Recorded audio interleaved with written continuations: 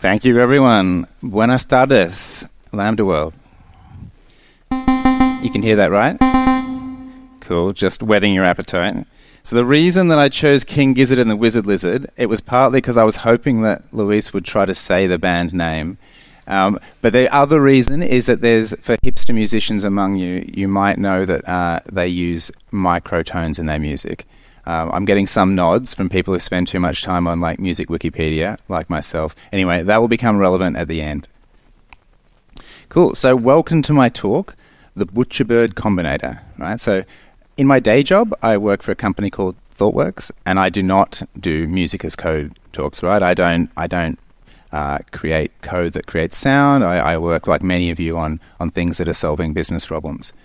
But I do do a lot of modeling and I do make a lot of decisions. And like all of you, as a programmer and a technologist, I make worlds in tech that have to match up with the world outside tech. And the decisions I make and how I model that are going to be important when it comes to how my systems behave over time. So this talk is on the surface about uh, the Butcher Bird and its music, and I hope you enjoy that. Um, but the other point I have of uh, giving this talk to you today is to think about modeling and, and our position relative to users who might be different and have different values or different culture than we do. So, speaking of different culture, because I know there's a lot of Scala people here, this is Lisp, um, and I'm going to execute this uh, in the in the editor. So basically, what's happening here is there's a REPL. I'm just typing some commands in Vim and executing it. So uh, in Lisp, by the way, uh, if you see this line here that I've got highlighted, that's how you multiply things. So Lisp is a little bit weird in that the operator comes first and then the arguments. Um, this is plus or addition, right? Um, so uh, it's a bit weird if you're used to maths notation, but I guess the advantage is consistency. By modeling things that way, there's a whole bunch of different things you can do in your editor and with macros and so on. So it's kind of convenient. Now, Clojure and Lisp in general is usually not a pure programming language, so you can just shove side effects into random code. So, for example, here's some, all right, birdsong, I hope. So that, that was a side effect from me executing a recording of a butcher bird. So just to go back, what is a butcher bird? Like that's a pretty gross name, right? Well, it's actually because it has a slightly gross habit, right? So the butcher bird is a bird about this long. It's a, kind of a bit like a magpie you might know in Europe. It's an Australian bird. Uh, it's especially common in Western Australia, where I visited with my dad. We went camping recently, so we saw, or more importantly, heard some butcher birds. Um, what it does is where you have like a nest um, it stores things it's caught on like sticks coming out of the nest. So this is why it's like it has like a larder behavior basically. And you know, obviously we do the same thing as people all the time, so I don't know why we would be disgusted with an animal doing it, but that's why it's called the butcher bird because it basically has a little butcher's shop of food that it's storing there. Right. And so um that's the that's the, the bird and obviously I cannot uh, firsthand have experienced butcher bird culture because uh, animals and humans don't quite see eye to eye all, uh, the whole time, but I'm going to try and explain the music theory and the way that the butcher bird song works in a way that uh, hopefully we can understand. Um, but I, I got asked earlier by someone at the conference what my talk was about, and clearly they didn't just want me to say what the description said, right? Or they would they would have uh, not asked the question. And so the first thing that I answered was, ah, it's about the difference between addition and multiplication. Right? And and they were like, oh, really? Uh, maybe I, might go to the other talk then. And I was like, no, you can't because this is the first talk, so there is no other talk at the moment. You have to come to mine. But don't worry, don't worry. It's actually a little bit more than that. So in particular, I think that I've decided this talk is about the difference between etic versus emic modeling. So this is a distinction in anthropology. So the emic approach is an insider's perspective which looks at the beliefs, values, and practices of a particular culture from the perspective of people who live within that culture, right? An insider view. And an etic approach, on the other hand, is an outsider's perspective. So someone who isn't from that culture, maybe who doesn't really understand what makes it tick, talking about it from the outside. So you get this all the time, I guess, in, uh, I don't know, uh, musical cultures where you might have someone who's analyzing a hip hop who's from a classical tradition, and they'll use the terminology and the models of music that they understand from their own background. Um, or you might, on the other hand, have people writing about how hip hop works who are deeply invested in hip hop culture. So this is quite important, I think, as programmers because uh, when it comes to programming tools, we are able to be the user, to understand the user, to inhabit the world that we're modeling from the inside. But when it comes to a lot of software that we write, a lot of our users don't have exactly the same point of view and culture as us, right? So to become a programmer, you have to have a certain way of looking at things. You have to be educated. You have to have the right opportunities. There's correlations in terms of you know ethnicity and gender, in terms of uh, makeup of the programming profession. So we have to somehow try to work out how we can model the world in a way that will be useful to our users and not make too many assumptions as outsiders that'll mess up our users' experiences. That's what that's why I think this distinction is important. And obviously a butcher bird or a bird is an ultimate example of us needing to be different from the users because you know they're a different species, they don't speak our language. So uh, if I can just get into the topic of modeling, representation matters. And I'm not talking about, oh, it's good to have diverse teams, etc. It is good to have diverse teams. But I'm actually talking about the way you structure internally your program. So these two uh, stanzas here, raw and computed, actually contain the same value. So if I execute this equality, it comes out as true. But if you look at the way uh, they're constructed, it's quite different, right? So this line is a raw list of integers. And if you looked at it, you kind of might be able to reverse engineer a structure. You're like, actually, uh, wait, are there are there six sixes or are there five sixes, right? So you might be able to figure it out. But on the other hand, if you look at this uh, thing, which you might be able to understand even if you're not familiar with Clojure and Lisp, this says that I take the range of numbers 1 to 8. For each of them, I make as many copies as the number, and then I concatenate the whole thing together. Right? So even though it is uh, the result is the same, the modeling is different and has different effects. In particular, I would say that the triumph of a good domain model is that when you have to change it, a small change in your intention becomes a small change in your program. So let's say I wanted only to keep the even numbers. It's very easy for me to update this version, and then I have only the even numbers in the case of the raw one, I guess I could edit and remove all the twos and the fours. Oh, sorry, remove the ones and the threes, etc. But in the case of the uh, uh, the second, the computed one, I'm able to make an edit that's natural, and I guess that's because I've I've modeled it in a way that is consistent with what's actually going on. So uh, the discipline or the academic discipline that talks about study of bird music is called zoomusicology, and it's kind of not really accepted. It doesn't really exist yet. Like people talk about it, people write about it, but there's no, you know, you can't find a department of zoomusicology in any university anyway. Um, but the two sources I have that uh, are really good for informing this talk um, is the book Is Birdsong Music by Hollis Taylor, which is about the pied butcher bird, that bird that I played to you earlier and another source which is a paper called Overtone Based Pitch Selection in the Hermit Thrush Song. And these two things together are the, the source of the theory of what I'm going to build on in this talk. So if you want to check my workings or investigate further, that's where they come from. Um, I would definitely say the book, would, I really quite like it. It's kind of a, a weird and beautiful book. Don't look at me like that. That's a compliment. You're all at a programming conference. Everyone here is weird and beautiful. Um, but it's it's kind of like by a classical violinist who's gone around and recorded the Butcher Bird, and then tried to work out what what the songs mean musically. Like treating the Butcher Bird not as a kind of specimen, but as a colleague, as a musician, someone to be taken seriously. And then you know she sees what the implications are of that approach. The overtone based pitch selection is um, is some theory about how the structure of birdsong works that I'll draw on.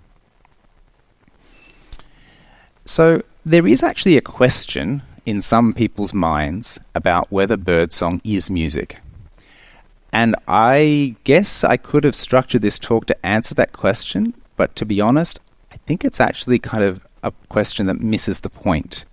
Right? So um, some people are very keen on the humanity and distinctly, uniquely Homo sapiens characteristics of music. And so they attempt to define music in a way that it cannot be done by, you know, a whale or a bird or anything like this. So they say, you know, it's about having a soul and the bird doesn't have a soul. So there you go. Um, I don't find I don't really want to argue with that. I just think it's kind of missing the point. Like, I don't want to be the kind of person who listens to birdsong and goes, that's not music, right? I, I think this is useful to me as an analysis to listen to it, to structure it in my head as though it's music, to think of it as maybe foreign music, interesting music, but to process it that way as, as an art form. Um, and the really the you know the biggest argument that it's music, I think, is just to listen to it.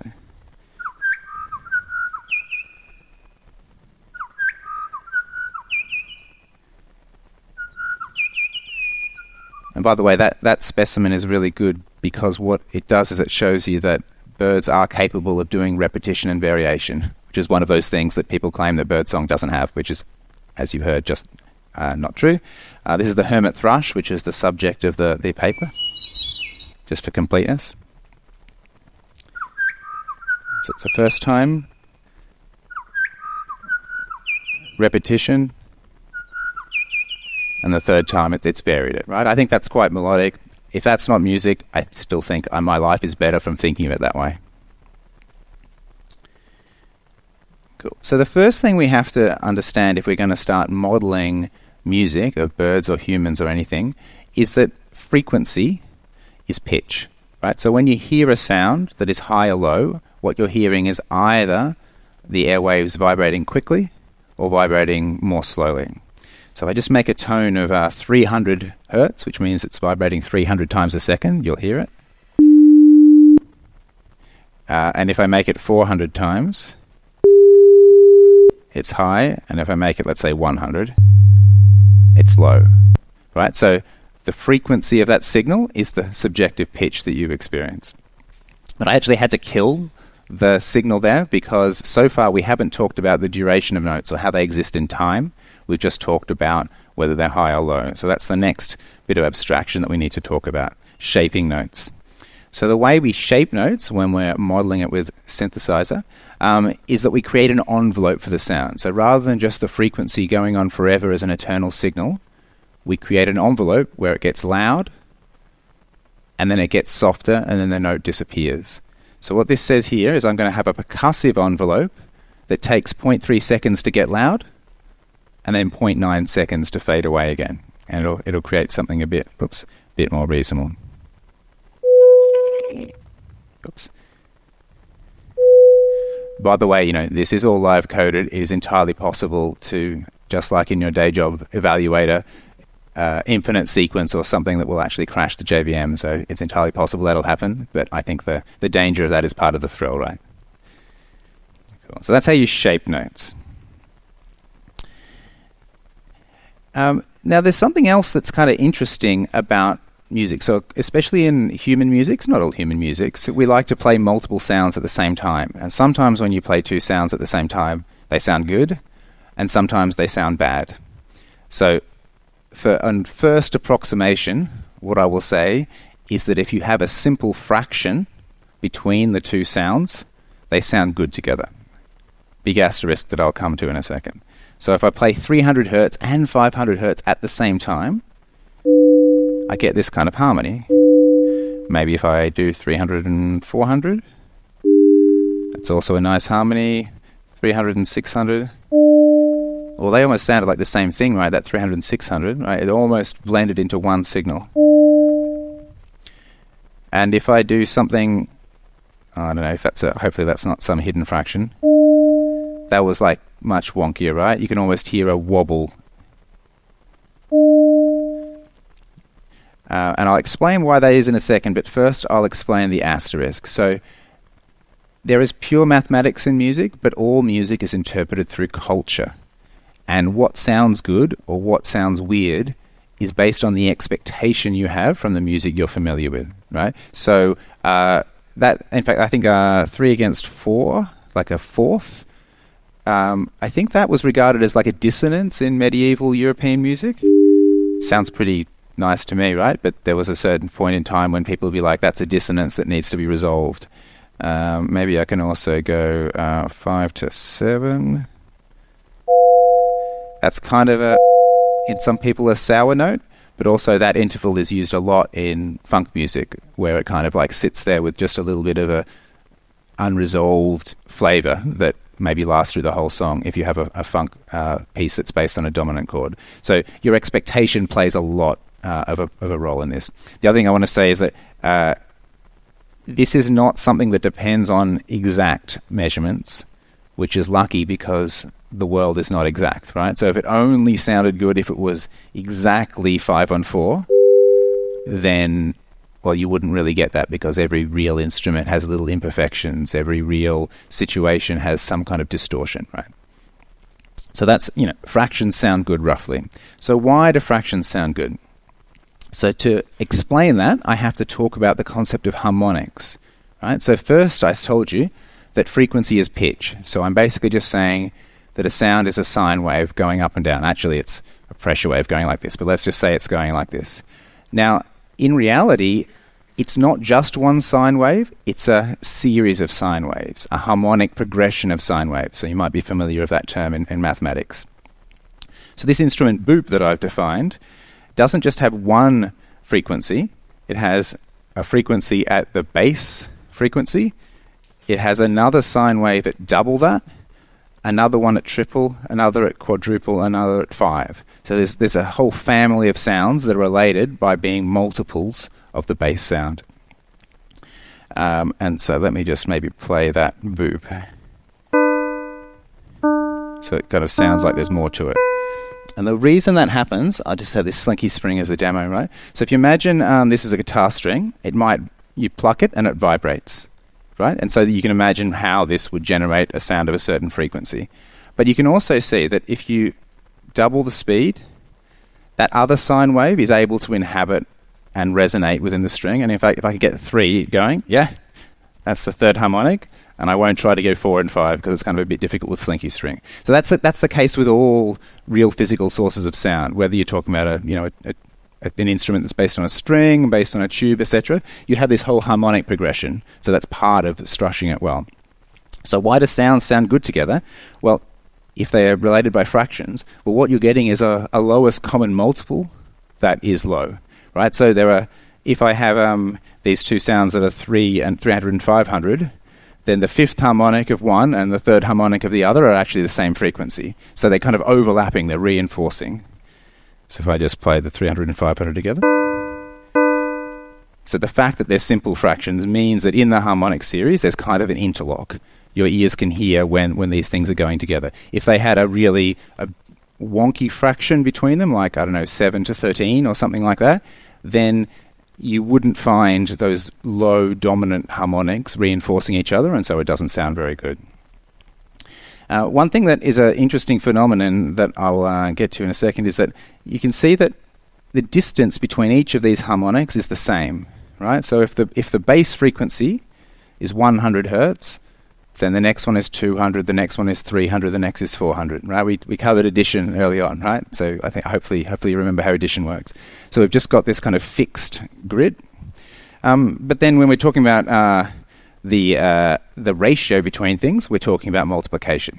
So these two fundamental bases of how to think about music, adding stacking sounds together and multiplying ratios together, these are both present in this little thing, and I'll, I'll come in a second to a divergence between how human music and how bird music works.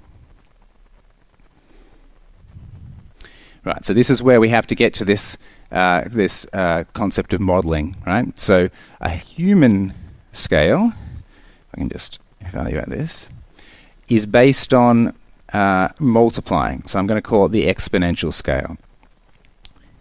Cool. Uh, so just checking that my guitar works.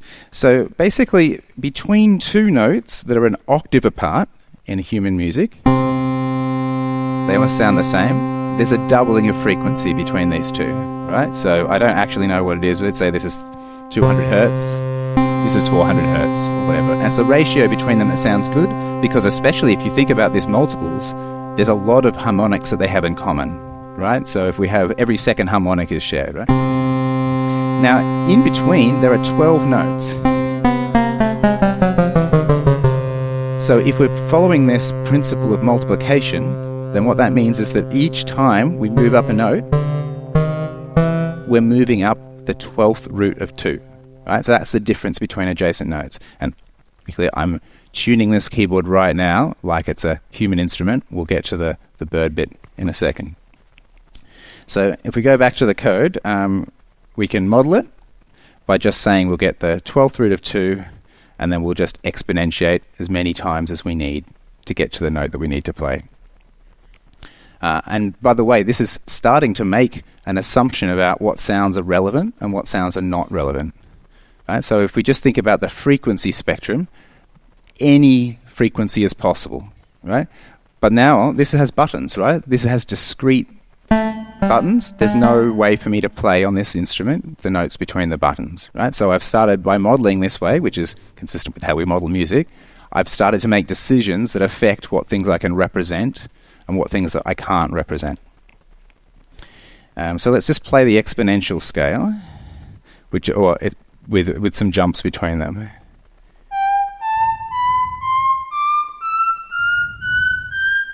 So for music people among you might have heard that I have both the major and the minor seventh, so it's like a bebop scale rather than a major scale. I can see Benji knows that. Uh, don't worry about that, but you can get yourself bonus points, Benji, for, for spotting that, yeah. Uh, and you'll see why in a second I've done that, just to be comparable with the bird scale. So that's how we work. The 12th root of 2, we multiply over and over again, and that tells us what frequencies in the key we are that we actually play in our piece of music as humans. Right. Uh, so when um, Hollis Taylor, who is um, writing this book, chooses to notate the bird song, she chooses Western music notation, right? So she chooses this system of dots on a page, and that's a really cool system because people have found it's a really useful way to read music and then work out what note you have to play quickly. It's you know it's visual. The higher the dot, the higher the frequency, the left and right of the uh, note tells you when it happens.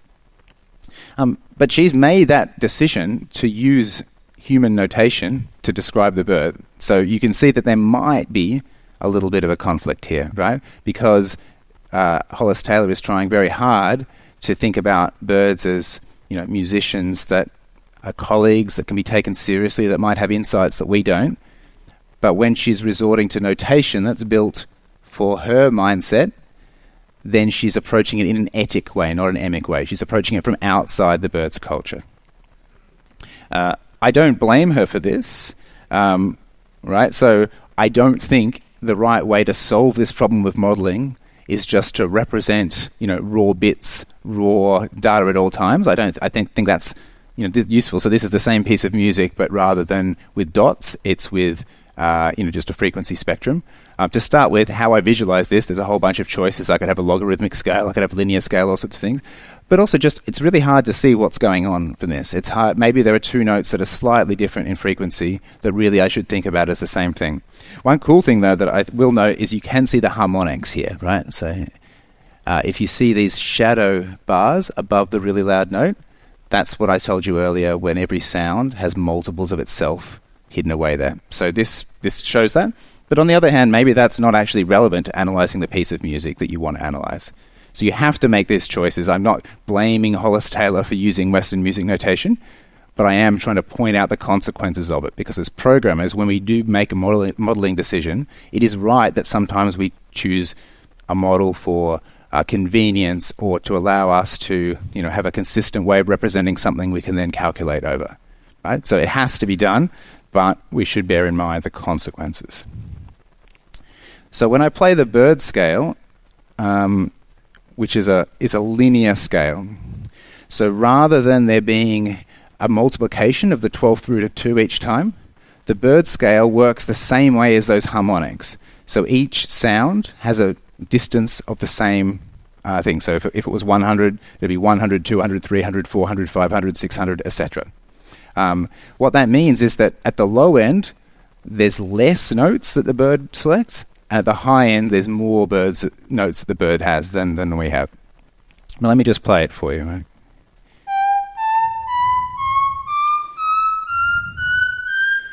So that kind of sounds similar, and that's because of a really awesome coincidence that at a certain point, from basically the eighth harmonic to the sixteenth harmonic, the twelfth root of two multiplication comes up with a really nice approximation of several fractions, right? So it gets close to the ratio of uh, 5 on 4. It gets close to the ratio of 3 on 2.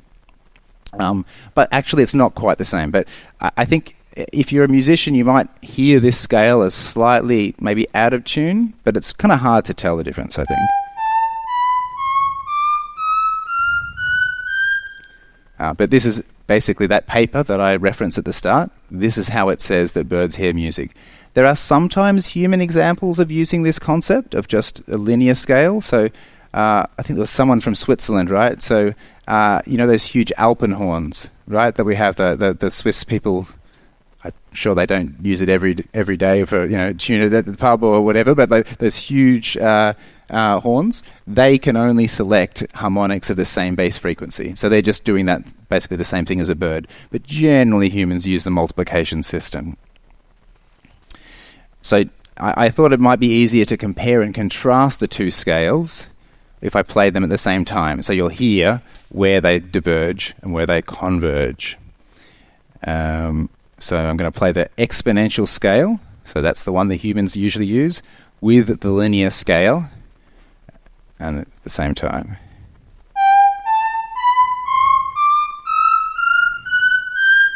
Can you hear that some of those are more kind of sour than others? I'll give you another go.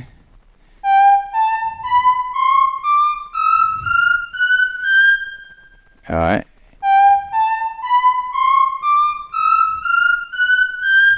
Right, so you can hear that they're similar, but not exactly the same. That's kind of dangerous when it comes to the kind of notation and analysis that Hollis Taylor is doing in her book, because if things are kind of close and you want them to be close, and it's convenient for them to be close, then as you're doing your modeling, you can make assumptions. You can round things off so that they end up fitting in the, the buckets or the model that you'd like to have.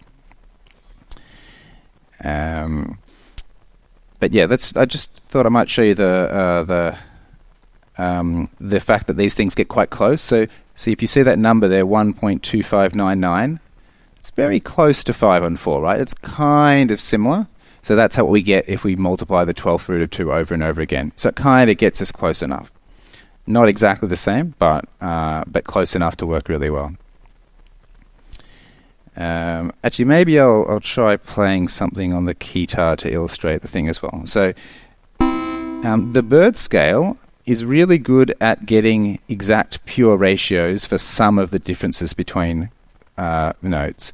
So this is what it sounds like when we use a kind of a human scale for the major third, that approximation. Kind of sounds nice, but you can imagine that this is like the horn of a car that's a bit out of tune as well. There's like it's kind of like just soupy. Now I'm going to switch it over to play uh, on the keytar what a bird would would uh, probably play, and then we can maybe hear the difference.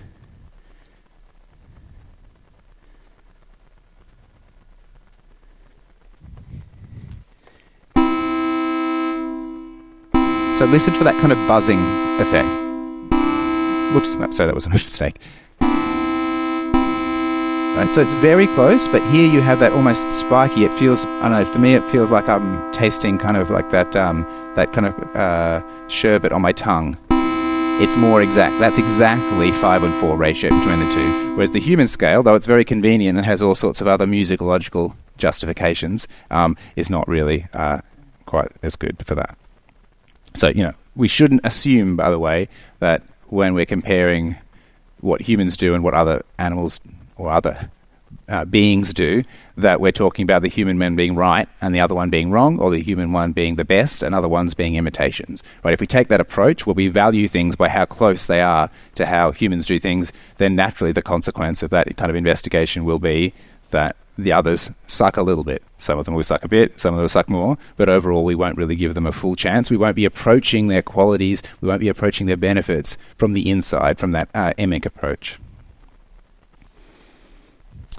Ah, cool. All right. So um, the next thing I wanted to talk about is octave equivalence.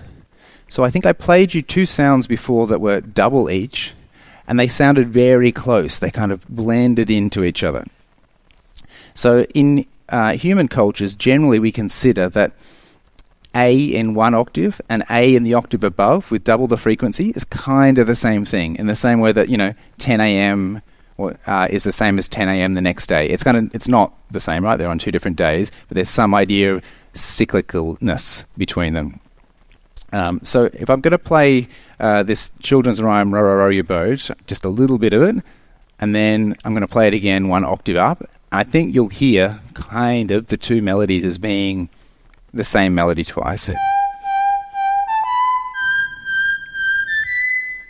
Alright, I'll play it again. So the second one is clearly higher, but in some sense it's saying the same thing, maybe I could say.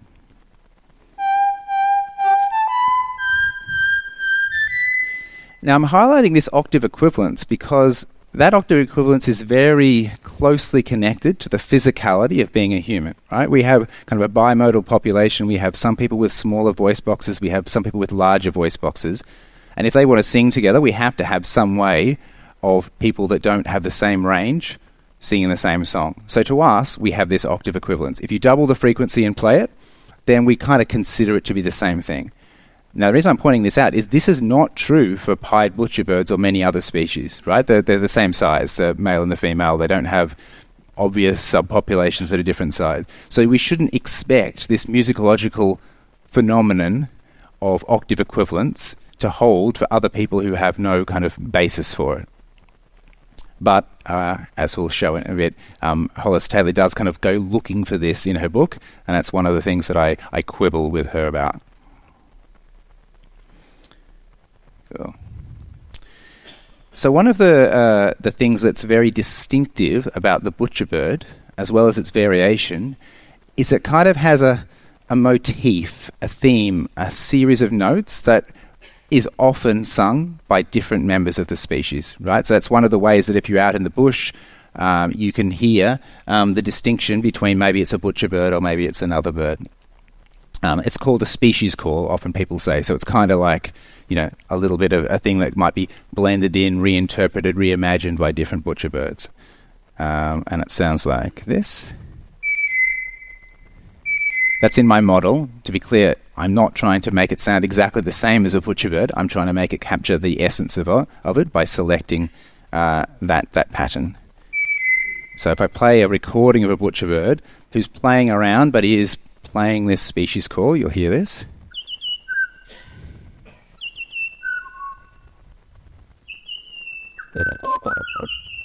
You can hear that do do do over and over again.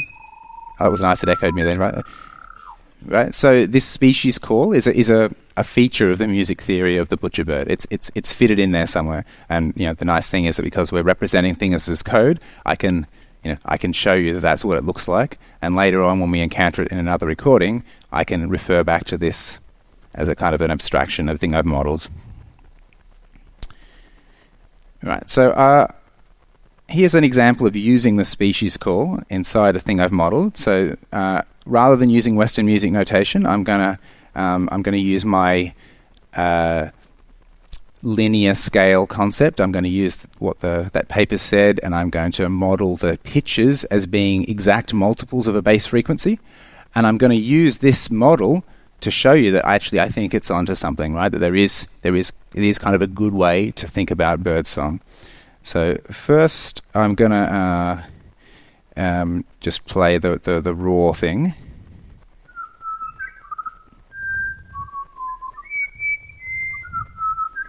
And now I'm going to play it along with my transcription of it.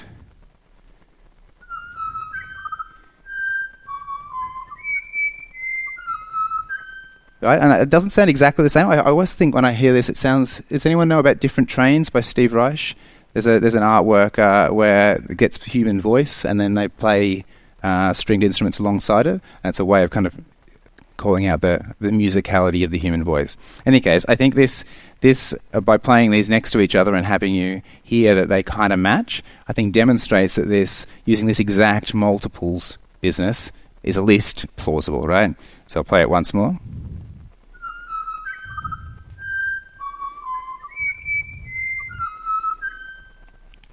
Note, by the way, that um, one of the nice things of having an internal model, an internal DSL for things like this, is that you can create new abstractions as you need to. So I've noticed that this line and this line are the same. Just looking at it now. So if I wanted to kind of you know create a let uh, that does this, I'm going to say I'm going to have the opening.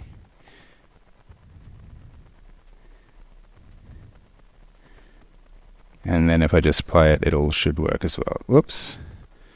Require, let requires an even number. Ah. Whoops, I didn't actually transcribe it.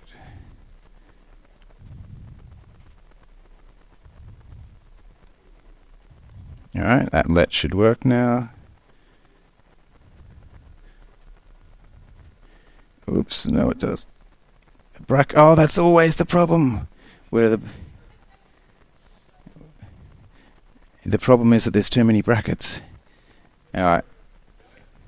In the let Yeah. Oh, I think ra- I, I appreciate the yelling out from the crowd, but I think rather than bore you with me fixing it now, I'm going to get you to trust me and I'm going to move on to the next thing. But I very much appreciate the, the help. I think you get the point, and if you didn't, you wouldn't have been able to be helpful to me like that, right? All right, so consider that the, the obligatory proof point that this is live coding and it can be very easy to get things wrong. Right, so finally, I thought I might be try to be a little bit pseudo-scientific about this, so I thought that I might try to like do some analysis about whether the uh, human scale applied to Butcherbird song works better or worse than the linear scale. Um, so if I do a differences of squares measurement, which is what's the methodology in the paper, um, we get 942 for the exponential scale, and we get 563 for the linear scale. Okay, lower is better, so that kind of works. Uh, I've obviously cherry picked the example. This is not scientific rigor, right? Um, hopefully, that's at least plausible. But I, I realize that that's kind of that's a very etic way of looking at it, right? It's a very specimen-like way. So I wanted to maybe engage a little bit better just before I do a final um, thing to finish off. Um, is to uh, examine what Hollis Taylor says in her book and have a look for this etic versus emic distinction. So, at one point, she says that half sharp signs indicate the duet's microtonal nature. Right? So this is a quote. Microtone means ah. You know how we have the, the notes on the keyboard? Well, microtone means they're playing notes in between. Right? Now, on one hand, that could be a compliment. And remember at the start, for example, King Gizzard and the Wizard Lizard, the band, they use microtonal music, and that means they create special guitars with extra frets on right? So that's kind of a cool hipster thing to do. On the other hand, to me, this sounds a lot more like Hollis Taylor might have chosen the wrong pitches, right? Her model might be wrong, and so when she's thinking they, they're like extra sophisticated, it might be that just that she's modeled things not quite complete in the first place. I see more signs of it here. I hear a melody with accompaniment a la Mozart to Chopin, a solo piano work performed instead by duetting birds. Now, the subtle thing here is that the comparison to Mozart and Chopin is meant to be a compliment, right? Oh, okay, these birds are like humans. That means these birds are good. Now, it is cool. It's a cool observation, but it kind of shows a value system that is operating from the outside. And then the final one I wanted to mention, to get back to the octave equivalence, uh, is that Hollis says that readings in neuroscience and the psychology of music indicate only certain mammals have a sense of octave generalization pied butcherbirds might assist us in revising our understanding of this. So you can see how she's kind of hedging, but she's really enthusiastic for the idea that pied butcherbirds might have octave equivalence. I think that's implausible because they don't have a bimodal population of size. They have no reason to think in that way. It's kind of a very human centric way to compliment them or kind of hope to compliment them for doing this. Um, but I think that's kind of what she's what she's trying to do here. So to be clear, I think it's a wonderful book. If you want to read it, I, I, I recommend it, um, and I'll you know uh, I can share it with anyone later who wants. But uh, I'm just trying to share as programmers this danger of approaching phenomena with our own glasses on. That if we you know if we are trying to model phenomena for people who are not like ourselves, we have to be really careful about the choices we make. Otherwise, uh, you know, we might find ourselves uh, excluding something that we can't even properly see. I mean, you know, there's obvious examples of that with online forms, you know, around, you know, Should they represent gender? Should, how should they represent gender? Should we collect age? Shouldn't we collect age? There's all sorts of decisions that we make when we're modeling software that do have implications for how we serve our users that are dependent on our point of view. So we have to choose. There is no way of not choosing, but uh, we should be a bit careful.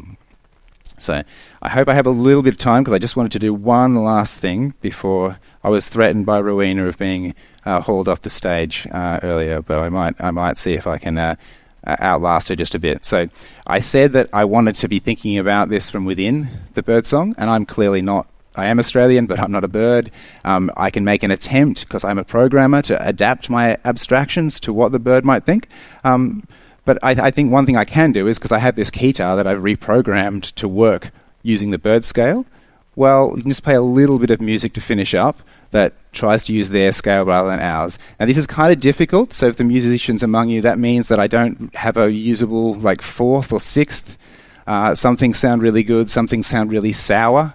Um, but maybe it should because maybe you'd be listening to something that is operating from outside a framework that you're used to. So I just play uh, these things on the Korgan. I that's kind of awkward, right? Because I have to type, and even though we love using, you know, our favorite editors, um, it's not really good as good as a direct interface. So let me uh, maybe just loop some birdsong music and then attempt to play along with it for a little bit. Um, one other advantage of doing this, by the way, is we're going to hear the music a little bit more in its proper context. When you hear Butcherbird song, you're not just hearing normally in the wild. You're not just hearing one bird performing you. It's not on a stage. You're not in the audience. You're hearing kind of a forest where there's different people, different birds uh, at different points that aren't even tuned together. Because there's no way that if there's a forest full of 20 birds, there's no way they can agree on a tuning like an orchestra. Right? So I'm going to play a little bit of music, play along with it, and then I'll uh, get off the stage and let the next act come on.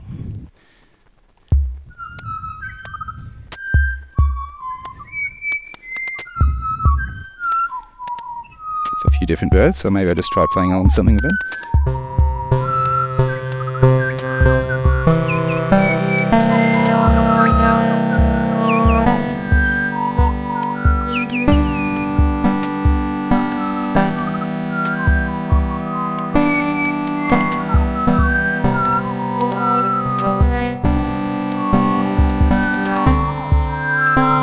bit sour, yeah?